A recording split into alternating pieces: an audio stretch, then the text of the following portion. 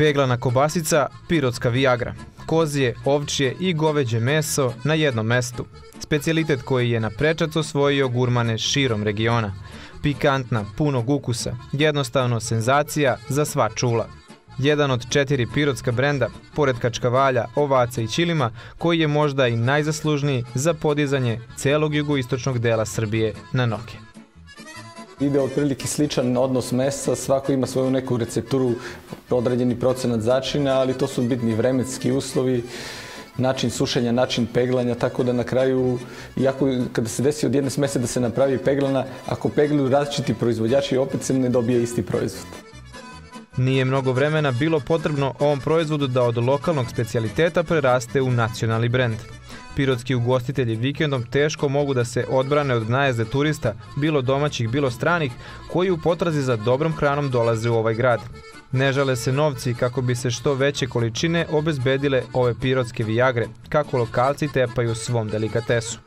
A sve to je pogodno tle za brojne manipulacije na tržištu, pa se poslednjih godina sve više kopija peglane kobasice nalazi u prodaj.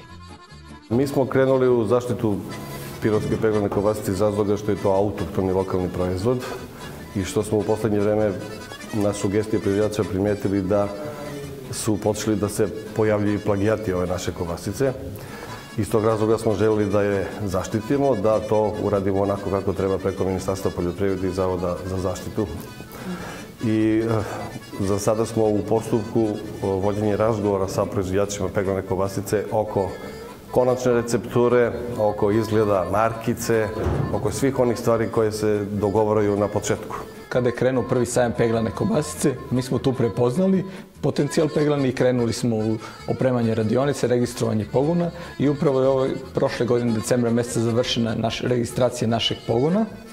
Mogu da kažem da su se neko sklopile kockice. Državi ministarstvo poljoprivrede, veterine, uprava veterine donelo pravilnik za male proizvođače, što je nama jako značilo. Mi smo dobili jedan pravni osnov po kome smo registrovali radionicu i samim tim stekli su se preduslovi za zaštitu geografskog porekla. Zašto je veoma bitno da se opet sve to stavi pod kontrolu, da se kupcima pruži zdravstveno, bezbednostno dobar proizvod, kvalitetan, da se zadrži taj kvalitet, mere kontrola i bitno je sačuvati ta znanja i veštinje izrade peglane kobacice za naredne generacije. Zaštita geografskog porekla neće koristiti samo proizvođačima u njihovoj borbi sa nelojalnom konkurencijom, već je bitna iz zdravstveno-bezbednostnih razloga, s obzirom na činjenicu da se peglana kobasica dobija od sirovog mesa koje se suši isključivo na vetru. Još uvijek je u to nekoj početnoj fazi, jer pravilnik usvojen decembra prošle godine i mislim da će to biti u dobrom statusu, jer ljudi su prepoznali da to mogu da šalju raznim restoranima, prodavnicama, Mi sada ne možemo trenutno zadovoljiti potrebe Srbija, kamoli tek što se tiče izvoza. Tako da potencijal peglane kobacice ja mislim da je veoma ozbiljan i veliki. Ipak i pored velikog interesovanja na tržištu, te mogućnosti dobre zarade od ovog posla, čini se da srpska narav za sada dovodi do kašnjenja celog procesa zaštite geografskog porekla. Krenuli smo od meseca juna, oni još uvek nisu se dogovorili oko konačne recepture, jer svačija kobasica je najbolja. Mi smo to prepustili njima. Zadatak gradske uprave da obezbedi sredstva u Fondu za razvoj poljoprivrede za plaćanje elaborata i svih ostalih analiza. Mi smo to obezbedili i planirali za budžet u sledećoj godini, tako da smo faktički mi svoj posao završili. Međutim, uvereni su piroćanci da će se razmimo iloženja u mišljenjima uskoro prevazići i da će peglana već sledeće godine biti zaštićena kao srpski brend a veruju da će to dovesti i do ponovne renesanse stočarstva na obroncima Stare planine. Prethodnih godina jedan od najvećih problema bio je nedostatak sirovine za spremanje peglane kobasice, ali gospodin Tošić kaže da se polako već osjeća poboljšanje i na tom polju.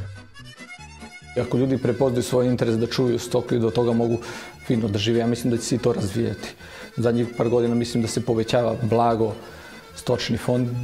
Naravno, sve zavisi od nas sami. Ako budemo pametni i radimo, onda ćemo napraviti veći stočni fond i veće količine peglane kobasice.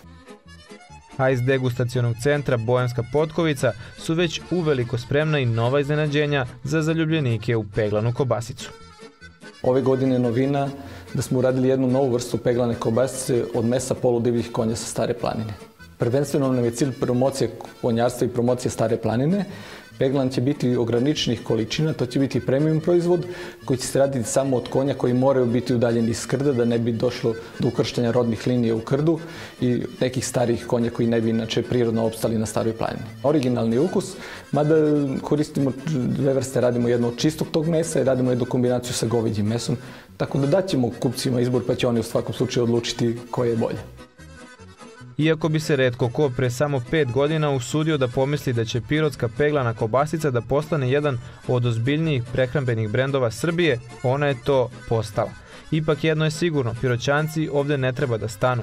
Tržište poručuje da mesta za dalji razvoj ima, bitno je samo da se takva šansa prepozna i iskoristi u pravoj meri.